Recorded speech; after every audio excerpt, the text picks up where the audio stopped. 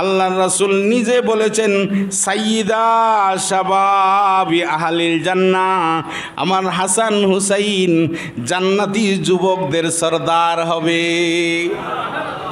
এখন আসুন হজরত হুসাইন রাদিয়াল্লাহু তাআলাহু ছেড়ে দিলেন, খেলাফতি ছেড়ে দিলেন। উনি খলিফাগিরি ছেড়ে দিলেন, আমির মুয়াবিয়া হল খলিফা। উনার শেষ বয়সে উনি যখন চলে যাবেন, দেখলেন ইজিদ তো ভালোই ইজিদের কাছে ক্ষমতা দিয়া দেয়, ইজিদের কাছে দিয়ে দিয়েছেন ক্ষমতা। দিয়া সবাই তো বয়াত গ্রহণ করেছেন, দামেস্ক, কুফা, সব মুসলমানরা বয়াত গ্রহণ করেছেন, করতেছেন। ওই দিক দিয়া হজরত হুসাইন রাদিয়াল্লাহ তালানহু বলতেছেন, না হয় না। শর্ত দিছেন, নবীর শর্ত মানেন, নবীর শর্ত দেখেন এই অবস্থা মানে নেই। বলছে, যদি নবীরটা না হয়, আবু বকর সিদ্দিক যেভাবে নির্বাচন করছেন, এটা করেন।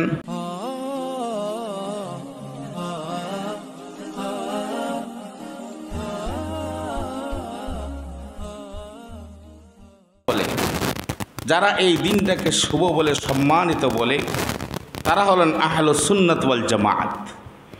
আর যারা এই দিনটাকে, এই মাসটাকে, এই দিনটাকে অশুভ মনে করেন তারা হলেন মুনাফিকের গোষ্ঠী।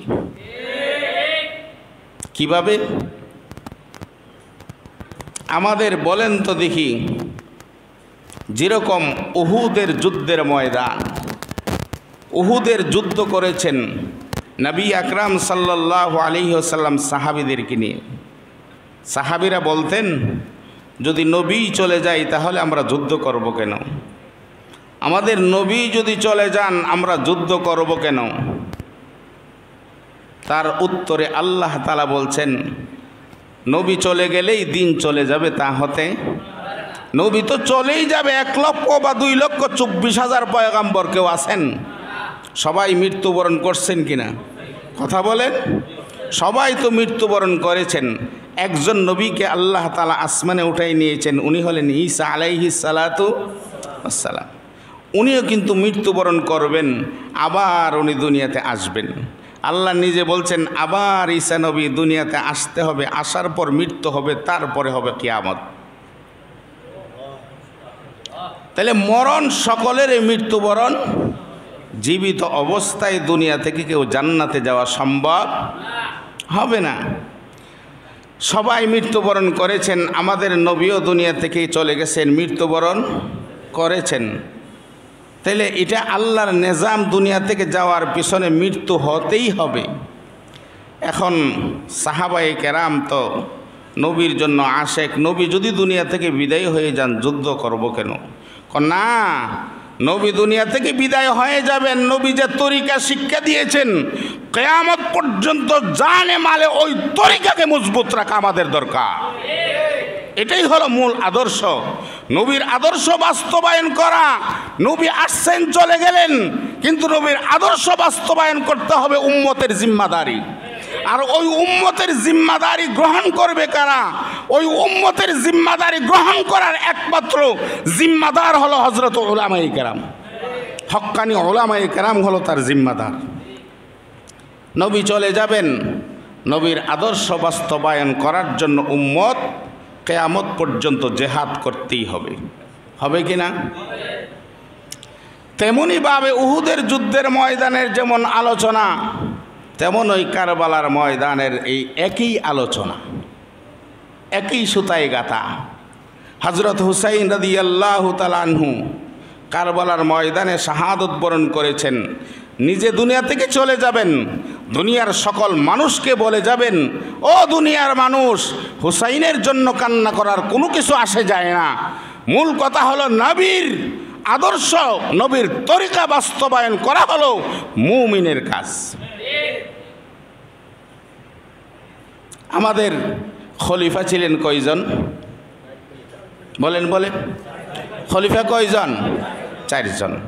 চারজন খলিফার মধ্যে সর্বপ্রথম খলিফা হজরত আবু বকর সিদ্দিক রাদি আল্লাহ তালানহু দ্বিতীয় খলিফা হজরত উমর ফারুক রদি আল্লাহ তৃতীয় খলিফা হজরত উসমান গনি রদি আল্লাহ তালানহু চতুর্থ খলিফা হজরত আলী রদি আল্লাহ তালানহু এই চারজন হলো আমাদের ধারাবাহিকভাবে প্রসিদ্ধ খলিফা।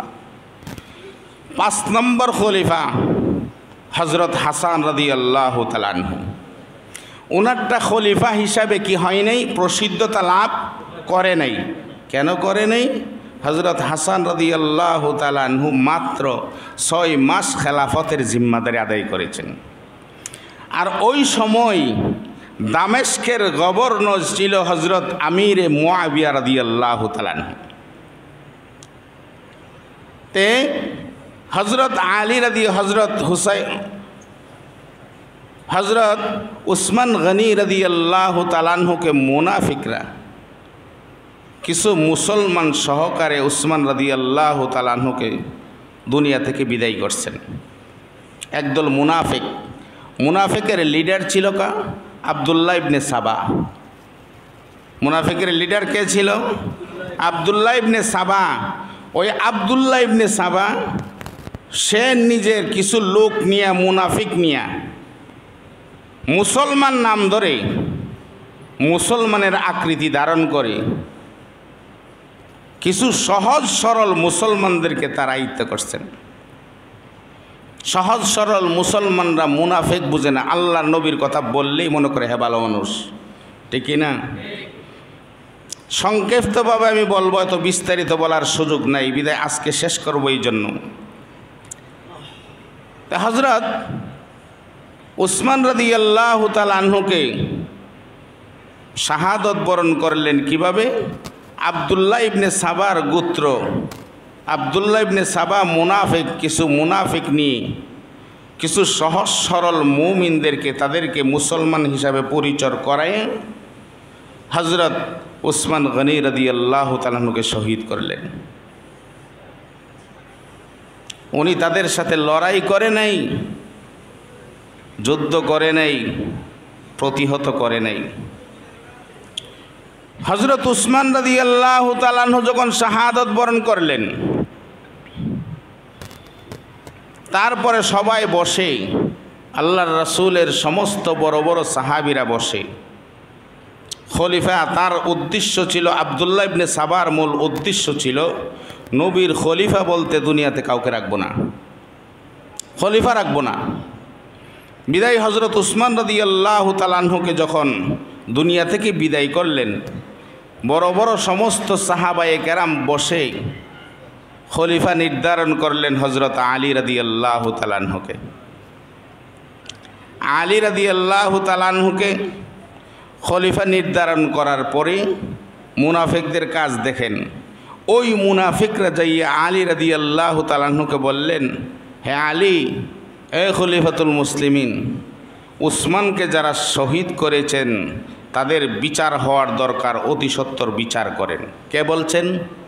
যারা শহীদ করছেন। কথা বুঝছেন যারা শহীদ করেছে তারা বলতেছেন যে, আপনি কাজ করেন উসমান রদি আল্লাহ তালানুকে যারা শহীদ করছেন, তাদের বিচার করতে হবে, বিচারের রায় করেন। হজরত আলী রদি আল্লাহ তালাহু বললেন, বিচার তো হঠাৎ করে হয় নাই। মামলা হবে, আদালতে যাবে, আগে চিহ্নিত করা হবে। চিহ্নিত করার পর মামলা হবে, আদালতে যাবে, তারপরে কি হবে? রায় হবে। এত সহজ তো না। করব না কেন? আগে চিহ্নিত করে নেই। তাদের এটা বরদাস্ত হয় নাই। বরদাস্ত হয় নাই, না হওয়ার পিছনে কীভাবে লাগাই? ওই দিক দিয়ে ওই তারা পত্র লিখল হজরত আমির এ মোয়াবিয়া রাদি আল্লাহ তালাহুর কাছে। দেখছেন? আলীর কাছে উসমানের বিচার চাইলাম।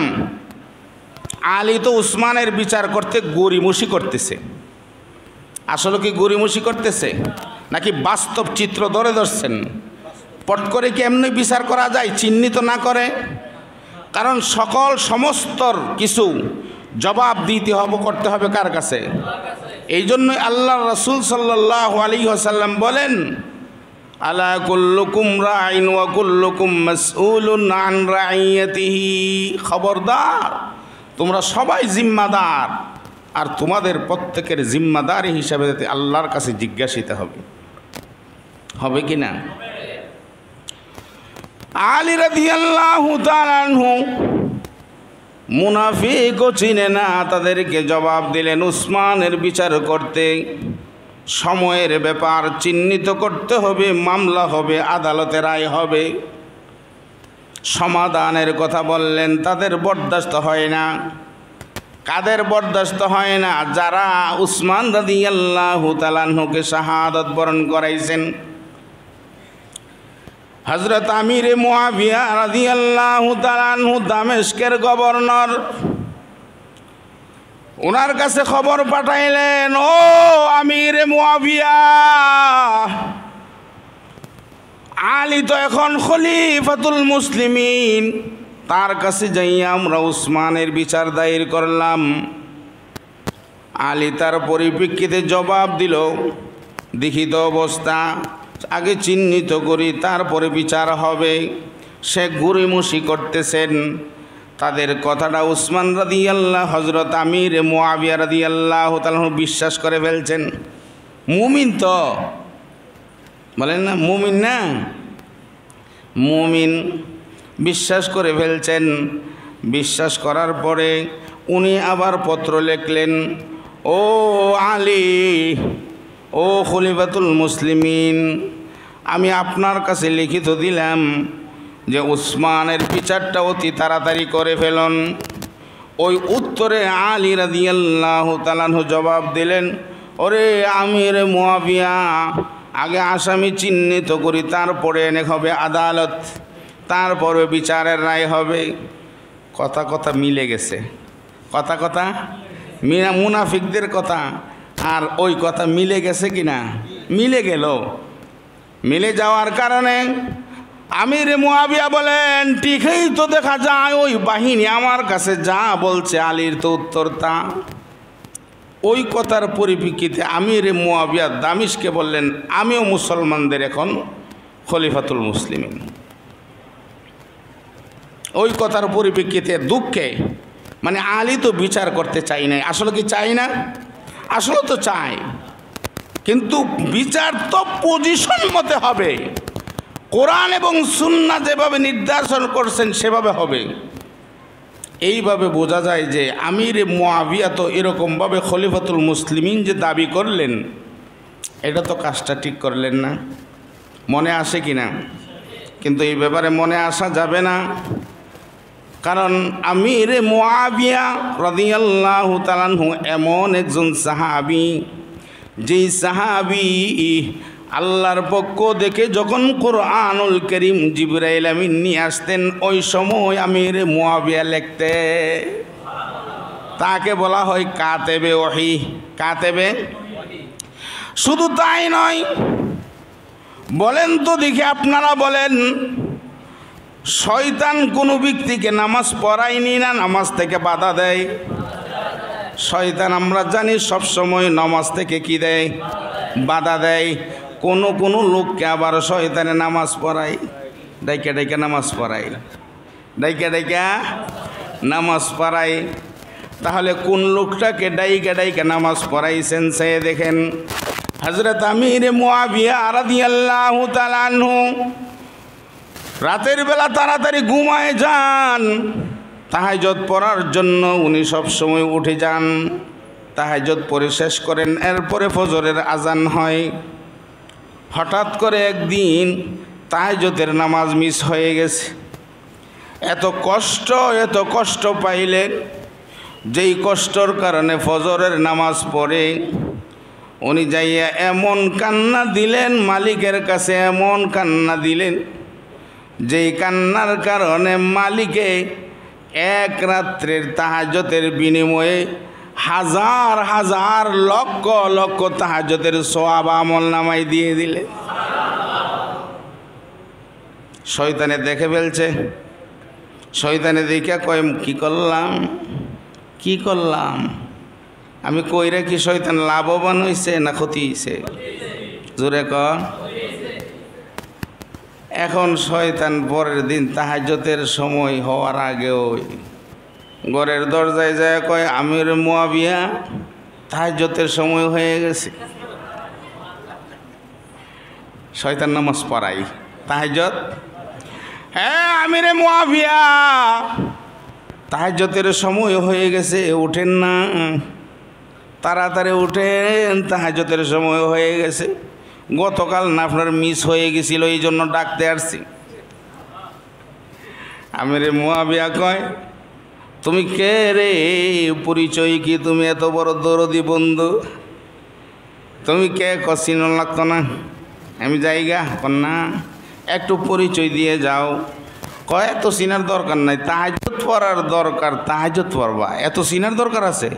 বাস, বন্ধু তো বন্ধু ওই আমি রে মুয়াবিয়া বলেন অরে বন্ধু, পরিচয় দিয়ে যাও। একটু পরিচয় আমার দরকার আছে, দাও। আসো। শয়তানকে আটক করে লেছে। আটক করার পরে শয়তান কয়, ও মুয়াবিয়া গতকাল যে তাহাজতের নমাজ মিস হয়েছে আমার কারণে, আমি মিস্টার ইবলিস, আমি শয়তান আমি শয়তান তোমাকে তাহাজ্জত থেকে মিস করেছি। তাহাজ্জত থেকে মিস করা তোমার কাজ, নামাজ ছেড়ে দেওয়া তোমার কাজ, নামাজ থেকে ধোকা দিয়ে ফিরে রাখা তোমার কাজ। তুমি কেন রে আমার ডাক দিলে? কারণটা কি? তোমার স্বার্থ কি? তোমার লাভ কি? ক দিলাম আর কি? এমনি দিলাম আর কি? নামাজ পড় না বলতে হবে। বলতে যখন হবেই শোনো, তোমার গতকালের তাহাজত যে মিস হয়ে গেল ওই তাহাজটা মিস করার পিছনে সব কারিগরি আমার। তো বুঝলাম কারিগরি তোমার, এটাই তো তোমার কাজ। তে আজকে ডাক লাগে না এই কারিগরি তো দরকার ছিল। ডাকার পিছনে কারণ হলো তাহাজত পরে তুমি যা না সোয়াব পাইতা তাহাজত আমি মিস করার কারণে ফজর পরে আল্লাহর কাছে যে কান্না দিলাম, ওই কান্নার কারণে এমন সব হয়েছে হাজার হাজার লক্ষ লক্ষ রাকাতের সোয়াব তোমার আমল নামায় আল্লাহ দিয়ে দিছে তা আমি শয়তানের কাজ হলো নমাজ থেকে সারামু, যাতে সোয়াব না হয়। এখন তোমার নমাজ থেকে সারাইয়া ফল্লা হইলে তুমি আট রাকাত বা বারো রাকাত। সোয়াব হইছে হাজার হাজার রাকাতের দরকারটা কি? বাস, তুমি কষ্ট কইরেই করো, যা করবা অল্প করো। আমি তো আবার যদি আজকে মিস করাই, আবার হইব এরকম। তাহলে আমার ফায়দা থেকে ক্ষতি না? জোরে কন। আমি এগুলো করতে রাজি না। এখন থেকে আমি জিম্মাদারি নিলাম, তোমার ডাগায় আমি উঠাবো। তাহলে এর থেকে শিক্ষা পারলাম। ও ভাই, যদি আল্লাহ হওয়া হতে হয় তাহাজতের নামাজ পড়া আরম্ভ করে দেন। তাহাজতের নামাজ যদি মিস না হয়, শয়তান আপনি আমার পিছনে লেগে যাবে। তাহাজত একদিন মিস হবে। আল্লাহর কাছে কান্না করে হাজার হাজার দিনের তাহাজতের আমল নামাই দেখে নিব। তাহলে বোঝা গেল শয়তান কাহাকেও নমাজ ছাড়াই, কাহাকেও নমাজ পড়াই। সারাই কারে তারা তো মনে করতে সোম্মা সাইরা দিলে তো ভালো। কান্দুম, বাদ দেন। তাহাজ্যতের কথা কইছে, ফরজের কথা বলে নাই। তাহাজ্যত নমাজ যদি ছুটে যাই, তাহলে বোঝা গেল আমি আল্লাহর কাছে যখন মকবুল হয়ে যাব, ওই শয়তান আমার পিছনে লাগবে তাহাজ্যত ছুটানোর জন্য। এই কথাটা বলার কারণ হলো আমিরে মুয়াবিয়া সাধারণ একজন সাহাবি। মুনাফিকদের চক্রান্তর কারণে সরল, সুজা মানুষগুলা এরকম মুনাফিকদের ফাঁদে পড়ে যায়, ঠিক কিনা? বর্তমানেও আছে, সামনেও থাকবে, কেয়ামত পর্যন্ত এরকম মুনাফিকদের সেলা ফেলা। এখন আসুন, আলী রাদি আল্লাহ তালাহুর ওই কথার পরিপ্রেক্ষিতে আমির মোয়াবিয়া দামেশকে নিজে খলিফা হিসাবে সবাইকে প্রচার করে দিলেন, বয়াত নিয়ে গেছেন। কোথায় নিয়ে গেলেন দামেশকে? এবং আপনার কুফা।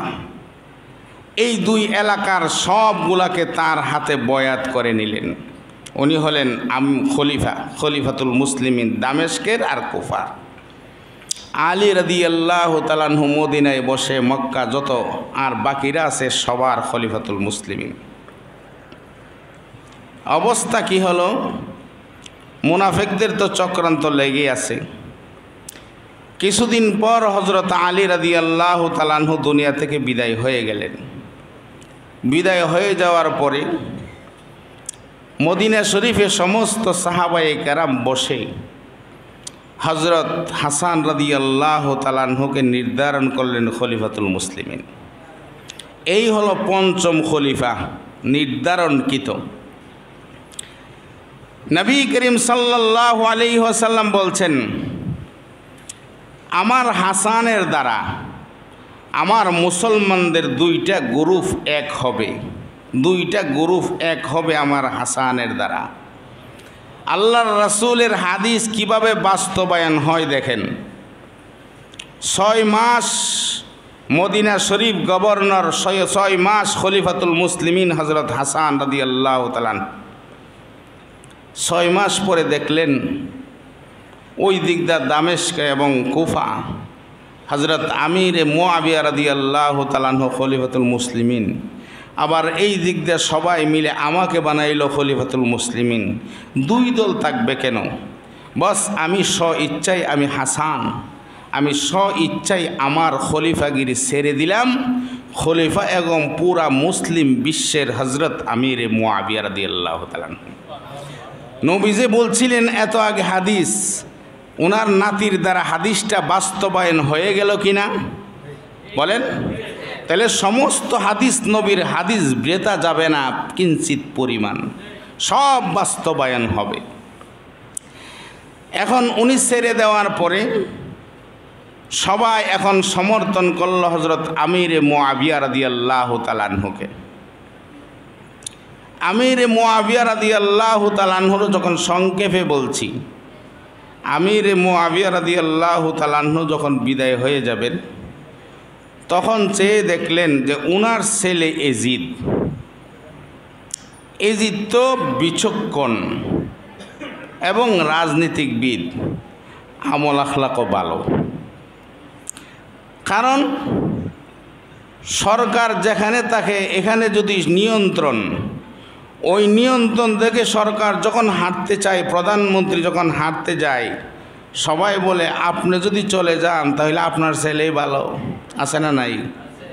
বলে না? বলে, ভিতরের খবর জানা মানুষের ইচ্ছার বাহিরে। অধীনস্থ?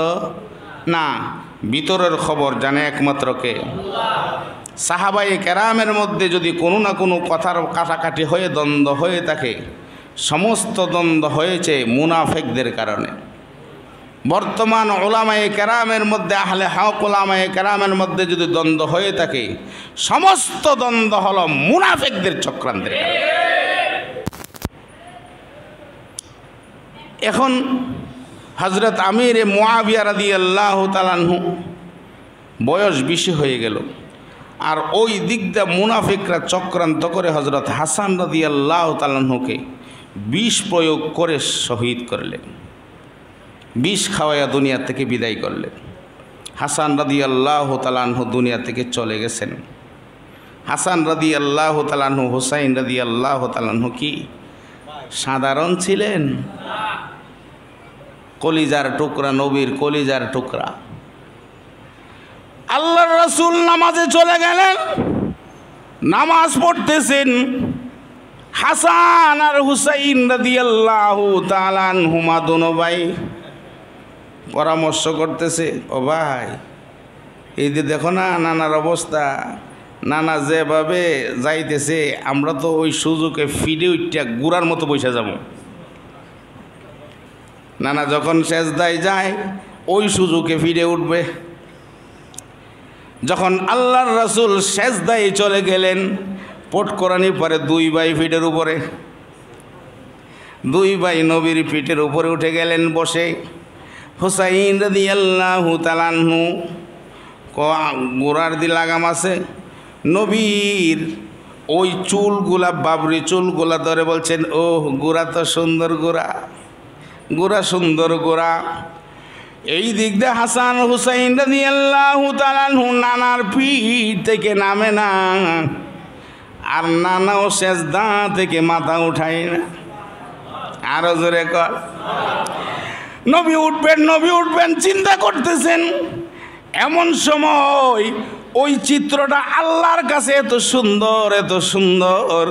জিব্রাইল আমিনকে পাঠাইলেন, জিব্রাইল, যায়া বলে দেন, আমার হাবিবকে বলে দেন, যতক্ষণ হুসাইন পীর থেকে না নামবে, ততক্ষণ এই অবস্থায় থাকবে। জিব্রাইল আমিন আইনে যখন আইসা যখন কানে কানে বলে দিলেন, নবী গো, এই দৃশ্য এই দৃশ্যটা খুবই সুন্দর খুবই সুন্দর, আল্লাহর কাছে পছন্দ হয়ে গেছে। স ইচ্ছায় যতক্ষণ হুসাইন আপনার পীর থেকে না নামবে, ততক্ষণ পর্যন্ত আপনি সেজদা থেকে উঠবেন না। নবীও উঠে না স ইচ্ছায় নামছে, সেজদা থেকে উঠছে। সুবাহান। আরেকদিন বলতেছেন হুসাইন রাদি আল্লাহ তালানহু বলেন অগনানা সবাই দেখি গোড়ার উপরে সওয়ার হয়, আমাদের গোড়া কই? আমাদের গোড়া কোথায়? আমাদের গোড়াই না দেন। নবী দুইটা ভাত সামনে দিয়া পাওগুলা এভাবে দিয়ে গোড়া হয়েছে গোড়া হয়ে বলে, হুসাইন রে, তোর নানার পিঠে উঠিটেই তোর গোড়া। এটাই তোর গোড়া। পিঠে উঠছে ওইটা কর, না গোড়ার তো লাগাম আছে, আমার গোড়ার লাগাম কই? লাগাম বোঝেন? গোড়ার তো লাগাম আছে, আমার গোড়ার লাগাম কই? আল্লাহর রাসুল বাবরি চুলগুলা ওই দিক দিয়ে কিছু চুল দিয়া কয়, নে হুসাইনি লাগাম। এমনি তোরা কই হুসাইনিটার দড়ি রে তোর লাগাম লাগাম পাইছে, এখন গোড়া চালায়। নবী স্বয়ং গোড়া বনে গেছেন। হজরত হুসাইন, হাসান হুসাইন রাদিয়াল্লাহু তালান হুমা নবী যখন দুনিয়া থেকে বিদায় হয়ে গেলেন, দুই ভাই গড়ের মধ্যে যখন কথাবার্তা বলে, মার কাজের সময় যখন একটু এরকম এরকম করে কাজের মধ্যে ডিস্টার্ব হয় হজরত ফাতেমা রাদিয়াল্লাহু তালান্না বলতেন ওরে হাসান হুসাইন, তোদের নানার কাছে যা, তোদের নানার কাছে যা, আমি কাজ করতেছি। নানা কিন্তু এই সময় দুনিয়াতে, জোরে কান।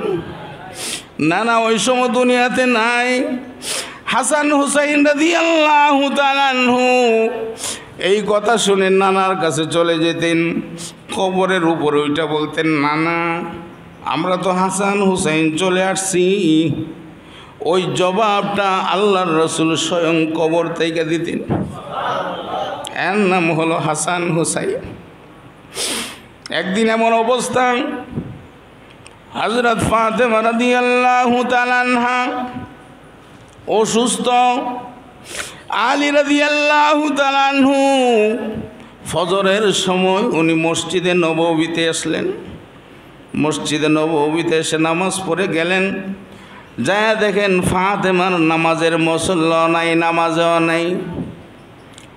আলী রাদি আল্লাহ তালানহুর কথা হলো, আমি তো কোনো দিন ফাতেমাকে মসজিদ কারণ যে এশরাক পরে সবগুলা নামাজ পড়ে, তসবি তালিল পরে এশরাক পরে তারপরে নামাজের মশাল্লা ওঠায় কিন্তু আজকে দি ফাতেমাকে দেখা যাচ্ছে না, ব্যাপারটা কি? রান্না করে গিয়ে দেখেন খামির করতেছেন রুটি বানাবে। ওই দিক দিয়ে যখন এই কথা করতেছেন, আলী রাদিয়াল্লাহ তালাহ বলেন, ফাতেমা রে আজকা জীবন তোমার কাজ অনেক বেড়ে গেছে, ইতিহাস। ইতিহাসের কথা আজকা যেমন তোমার কাজ অনেক বেড়ে গেল। কি ব্যাপার? তোমার আশরাক কই? চাষ কই? তোমার তসবি তাহালিল কই? আজকে যে এত তাড়াতাড়ি রান্না করে আসলে। ফাতেমা রাদি আল্লাহ তালানহকে আনলেন। আনার পরে স্বামীর মাতার কাছে ফাতেমা রাদি আল্লাহ তালানহা এসে বলতেছেন, স্বামী গো, আমি ফাতেমা না। আমার অবস্থা এমন হয়ে গেল। আমি না আপনি স্বামী হিসাবে আপনার সম্মান করতে পারি নাই। আমি আপনার সম্মান করতে পারি নাই, স্ত্রী হিসাবে যা করার দরকার ছিল পারি নাই। সঠিকভাবে আপনাকে খাবারও দিতে পারি নাই। সঠিকভাবে আপনার খেদমত করা আমার পক্ষে সম্ভব হয় নাই। অগস্বামী আমি ক্ষমা চাই গো। আমাকে মেহরবানি করে ক্ষমা করে দিয়ে অসুস্থ স্ত্রী স্বামী ডাক দিয়ে বলেন, ফাতেমা রে, কেন তুমি এমনভাবে ক্ষমা চাচ্ছ রে ফাতেমা? জবাব দিলেন অগো স্বামী, আজকে রাত্রে গো ঘুমানোর পরে আমার আব্বা আমাকে স্বপ্নে যোগে দেখাইছে। ফাতেমা রে, আমি রোজা রেখেছি রে তুমি আমার ইফতারের সময়, তুমি আর আমি একসাথে ইফতার করব। আলীর বুঝতে দেরি হয় নাই, কারণ স্বপ্নের ব্যাখ্যা তো তারা জানে। আলীর বুঝতে দেরি হয় নাই, আজকা তো ফাতেমার শেষ অবস্থা। হজরত আলী রাদি আল্লাহ তালানহু বলে, ও ফাতেমা ফাতেমা রে তুমি না নবীর কলিজার টুকরারে ফাতেমা? আমি স্বামী হইয়া তোমার ইজ্জত সম্মান কোনোই করতে পারি নাই। ফাতেমা, তুমি নবীর কলিজার টুকরা হওয়ার পরেও আমি কোনোদিন আমার কাছে আসার পরে পেট ভরে খাবার দিতে পারি নাই। কোনোদিন আমার ইচ্ছা অনুযায়ী তোমাকে আমি সুন্দর কাপড় পরিধান করাইতে পারি নাই। ক্ষমা চাই রে, তুমি স্ত্রী হিসাবে আমার যতটুকু পাওনা ছিল আমি দিতে পারি নাই, মাপ চাই। ক্ষমা চাই। স্বামী স্ত্রী যখন কাঁদতেছেন, আওয়াজ দিয়ে তাদের আওয়াজ বেড়ে গেছে, তাদের কান্নার আওয়াজ বেড়ে গেছে। এমন কঠিন অবস্থা হয়েছে যে মা বাবার কান্নার আওয়াজের কারণে হাসান হুসাইন রাদিয়াল্লাহু তাআলা দৈরে গেছে। দৌড়ে যায় কই, কি ব্যাপার? হাসান রাদিয়াল্লাহু তাআলাহু বাবার কাছে গেছে, হুসাইন রাদিয়াল্লাহু তাআলাহু মার কাছে গেছেন। আপনারা কান্না করতেছেন কেন? কি ব্যাপার জিজ্ঞাসা করতেছেন? ফাতেমা রাদিয়াল্লাহু তাআলা বলেন, ও হাসান হুসাইন হাসান হুসাইন রে, তোমরা এই মুহূর্তে তোমার নানার কাছে যাও, নানার কাছে যায় কথা বলো। সুবহানাল্লাহ বলবেন। না নানার কাছে যায় কথা বলো। এই কথা বলতে যাইয়া নানার কাছে যখন দুনো ভাই যখন চলে গেল, কবরের উপরে যায় বলতেছেন, সালাম দিলেন। সমস্ত হাজি সাহরা যারা আছেন, যারা কবর জিয়ারত করতেছেন, তারা শুধু দেখে কোনো আওয়াজ পায় না। কোনো আওয়াজ? পায় না। কিন্তু নাতি আর নানা কেমন সম্পর্ক? কবরের ভিতর কবর থেকে আওয়াজ দেয়, নানা কবরের ভিতর থেকে নাতিদের জবাব দেয়। হজরত হাসান হুসাইন রাজি আল্লাহ কবরের উপরে যায়, নানার সাথে কথা বলে। নানা জবাব দেয়, ওরে হাসান হুসেইন, আজকা কেন তোরা আমার কাছে আসলে? তোরা তোর আম্মুর কাছে যা, আম্মুর চেহারাটা ভালোভাবে আজকে দেখে নে। কারণ তোদের আম্মু আজকে আমার কাছে চলে আসবে আর কোনো দিন আম্মুকে পাবে না। হাসান হুসাইন রাদিয়াল্লাহু হুমা দুজন দৌড়াইয়া চলে গেলেন। যা বলেন, আম্মু গো, নানার কাছে জিজ্ঞাসা করেছিলাম। নানা বলেছে, তুমি নাকি আজকে চলে যাবা? তোমার চেহারা দেখার জন্য আরও কান্না বেড়ে গেছে। এই জন্য বাইরে আমার হাসান হুসাইন সাধারণ সাহাবিনা শুধু সাহাবিনা নবীর কলিজার টুকরা ছিলেন। ঠিক না?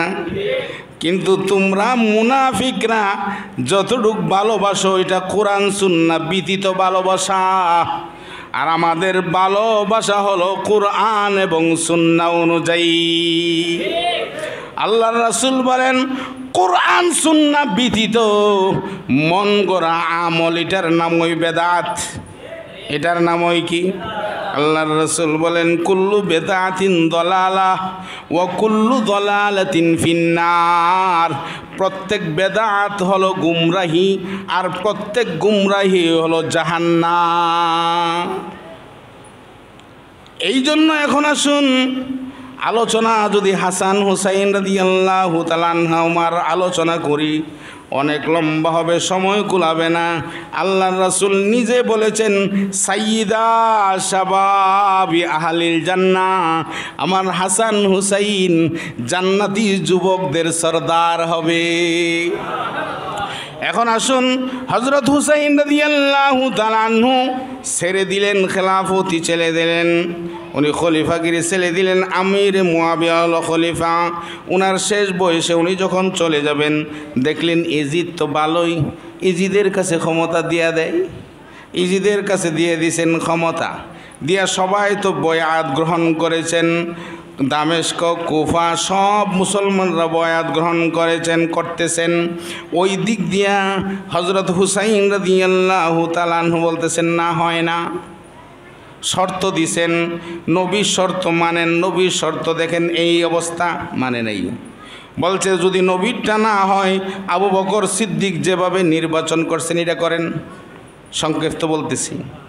আবু বকর সিদ্দিক যেমনে করছেন, এমনি করেন। এটা হয় নাই। কত উমরে ফারুক যেভাবে নীতিমালা করছেন, এভাবে করেন।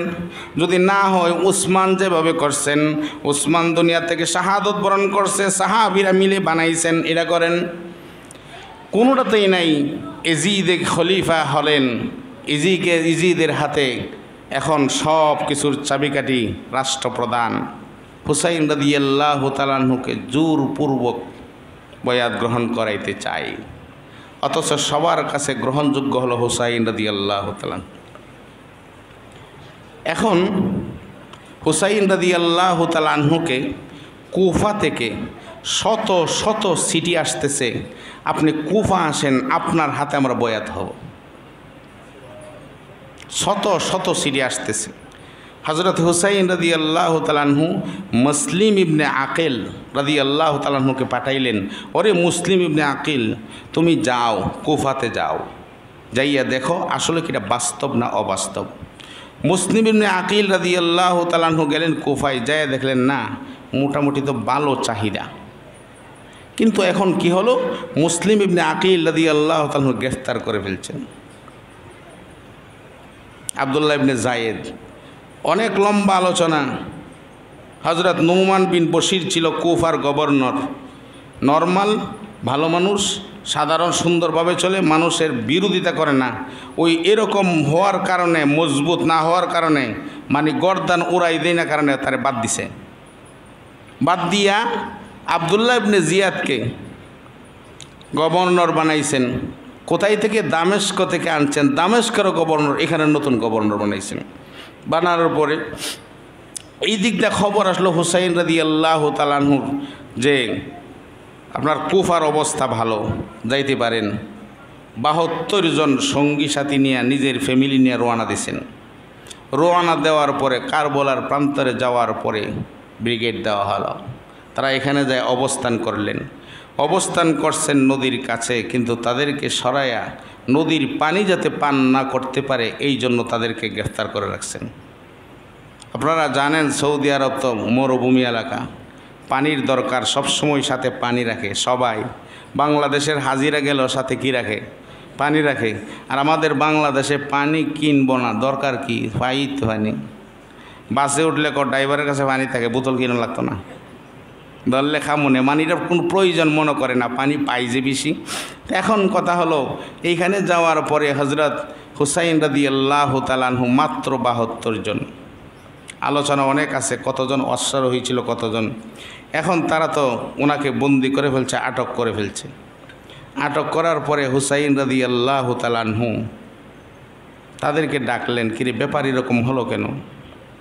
অনেক আলোচনার ভিতরে সংক্ষেপে বলতেছি। হুসাইন রাদি আল্লাহ তালানহু বললেন, একটা কাজ করো।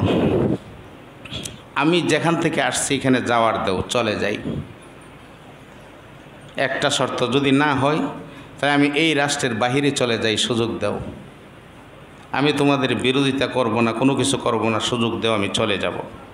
কিন্তু তারা সারে নাই। এটা নয় তারিখে, মহারমের নয় তারিখে।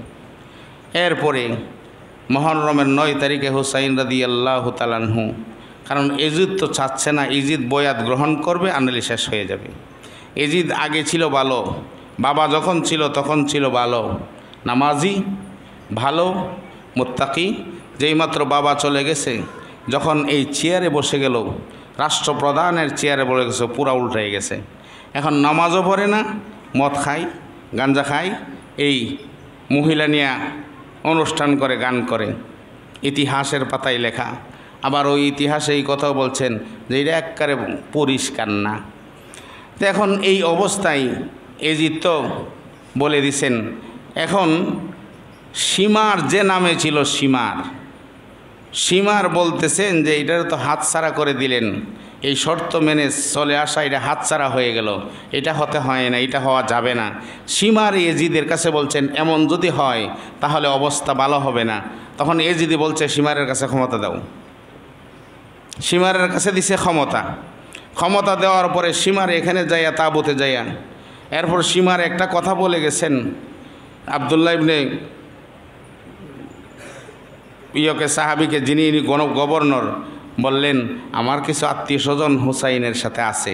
বিদায়, এদেরকে আমি সারাই আনব। ঠিক আছে, আনো। যায়া বলছেন, আত্মীয় স্বজনকে বলছেন যে, তোমরা না আমার আত্মীয়, হুসাইনের অবস্থা তো বেশি ভালো হবে না, তোমরা চলে আসো, তোমাদের মুক্তিপণ। তারা বলতেছেন, হুসাইন রদি আল্লাহ তালানহুর সাথে আসছি। ওনার যদি জীবন যায়, আমাদেরও সাথে জীবন যাবে, আমরা এক পা নড়ব না। তারা এখানে আসেন। এরপরে হুসাইন রাদি আল্লাহ তালানহু এই রাত্রে স্বপ্নে দেখছেন নবী করিম সাল্লাহ আলি সাল্লাম বলতেন হুসাইন, আমি না তোমারে নিয়ে ইফতার করব। ওই সিনি, আমি না তোমার নিয়ে ইফতার করব, অপেক্ষায় আছি। ওই ইফতারের আগেই হুসাইন, এই এই বাসন যখন হুসাইন রাদি আল্লাহ তালাহ দেন ওনার বোন জৈনব কানতেছে তো মহিলারা তো হাউ মাউ করে চিল্লে কী করে কানতেছেন একজনকে বললেন, থামাও। মহিলাদেরকে এই জন্য আনতেন মহিলাদেরকে থামাও। তবে আমি যদি শাহাদত বরণ করি, একটা লোকও যাতে আমার জন্য এরকমভাবে বিলাপ করে, কান্না না করে। কে বলছেন? হজরত হুসাইন রদি আল্লাহ তালানহু নিজে আনহু নিজে বলছেন, আমি যদি শাহাদত বরণ করি, কেউ যাতে এরকমভাবে মাতম করে, বিলাপ না করে।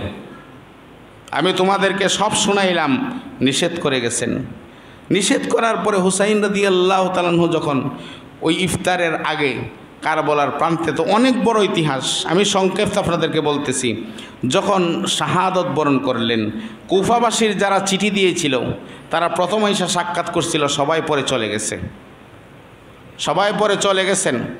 চলে যাওয়ার পরে এখন তো বাহাত্তর জনের মধ্যে এরকমভাবে শাহাদত বরণ করতে করতে মহিলারা আর বাচ্চারা বাদে প্রায় সবাই হুসাইন রাদি আল্লাহ দশ তারিখ মহরমের দশ তারিখ ইফতারের আগে শাহাদত বরণ করছেন। বরণ করার পরে এখন তো এজিদ, খলিফাতুল মুসলিমিন। এজিদও আবার কার হাতে মৃত্যুবরণ করলেন? এজিদ কার হাতে মৃত্যুবরণ করলেন? এজিদ মৃত্যুবরণ করলেন মুখতার নামে একজনের কাছে। ও ছিল রাজনীতিকবিদ, তার উল্টা। মুখতার নামে ওই লোকের কাছে এজিদ মৃত্যুবরণ করছে। কেটে কেটে কুচি কুচি করে ফেলছে। যেই মাত্র কুচি কুচি করে ফেলছে, তখন ওই আপনার দামেস্ক দামেস্ক না, কুফা।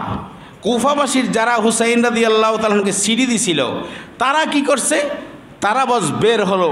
যেহেতু এজিজ শেষ, তারা বের হলো। ইয়া হুসাইন ইয়া হুসাইন ইয়া হুসাইন। এটা কি মহাব্বত না মুনাফিকি? যদি মহাব্বতই হইতো, তাহলে তো হুসাইনকে রেখে তারা আসতো না। এখন তোমরা, ইয়া হুসাইন হুসাইন বলো কেন?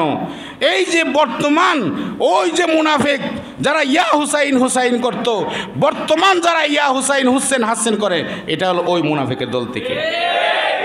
ওই মুনাফেকের দল থেকে হলো এটা এটা হলো শিয়াজাত তারা কেমনে কয়? আচ্ছা বলেন তো দেখি, আপনার নাম আবু বকর। এখন যদি কেউ এসে কয় বকইরা বকইরা, আমরা খুব খুশি। খুশি না বেজার? বেজার তো না, বাঁশ যদি একটা থাকতো, তেনে বোঝা যাইতো অবস্থা কি। তাই না? তাইলে আবু বকরকে যদি বক কইরা বক কইরা বলে, খুশি ব তাইলে হজরত হুসাইন আদি আল্লাহ ইয়া হুসেন, হাসেন হুসেন হাসেন, হুসেন। তাইলে যদি এখন বর্তমান হুসাইন রাদি আল্লাহ থাকতো, তো অবস্থাটা কি হইতো? আগে ওই মুনাফিকদেরকে না মাইরা, আগে হুসেন হাসেনডিরে মারত। তাহলে ভালোবাসা হয় এই জন্যই ভালোবাসা হয় কোরআন এবং সুন্না অনুযায়ী। কোরআন এবং সুন্না বিধিত এই ভালোবাসার কোনো ভালোবাসা না, এটা মুনাফিকি। আলোচনা অনেক ছিল। এখন আসুন, দেখা যাবে অনেক মুসলমানরা নামদারিরা দশ তারিখে ওখানে যায় তামসা দেখতে যাবে। আছে না নাই? বাইরা দেখবেন সারা দিন, সারা রাত, চব্বিশ ঘণ্টা সারা বছর মদ খাইছে, গাঞ্জা খাইছে, চুরি করছে, দাড়ি করছে, বাইরে লোহা দিয়া বাইরে ফিরে দিয়ে রক্ত আনে। যায় দেখেন চ্যালেঞ্জ যায় দেখেন এটা হইল মদখুর এটা গাঞ্জাখুর ইয়ে আবার ট্যাবলেট খাই। এডি ফিট কাইটিয়া রক্ত বাইর করছে, এরকম আছে না নাই? এগুলা তামসা দেখতে যদি যান আল্লাহ রাসুল বলেন, মান তাসাব্বাহাবি কাউমিন ফাহু আমিনহু যার সাথে যার সম্পর্ক হবে, তার সাথে হাসর হবে, তার সাথে বিচার হবে। এই জন্য এইগুলা যাওয়া যাবে? সন্তানাদিকে পাঠানো যাবে? আত্মীয় স্বজনকে বলার দরকার আছে কি নাই? যে সাবধান, এখানে যাওয়া যাবে না। এখন আরেকটা কথা স্মরণ হয়ে গেল, এখন তাদের অবস্থাটা চলে আসে মোবাইলের মাধ্যমে। আসে কি না? মোবাইলের মাধ্যমে তাদের অবস্থাটা চলে আসে। মোবাইলের মাধ্যমে যদি তাদের এই অবস্থাটা চলে আসে, বলেন তো দেখি, দেখবেন রক্ত মাখানারে ছবি দিয়া সাইরা দিছে। আপনি আমার মনে চাইব একটা টিপ দিয়ে দিকেলাই না, কি করছে? টিপ দেওয়ার সাথে সাথে এটা, এটাও মান্তাসাব বাহাবি কাউমিন কারণ তার লাইক হবে অনেক। হবে কি না? তখন বলব, আমরা তো পুরান ঢাকায় ছিলাম মাত্র পাঁচশো লাইক হয়েছে দি লাখ। তাইলে বোঝা গেল আমাদেরকে পাঁচ লক্ষ মানুষ সমর্থন করে, বলবে কি না? সাবধান, এই রক্ত মাখাটি দেখলে টিপ দিব। রাজি আছেন তো? সময় বহুত শেষ। আল্লাহ তালা আমাদেরকে বোঝার সাথে সাথে আমল করার তৌফিক দান।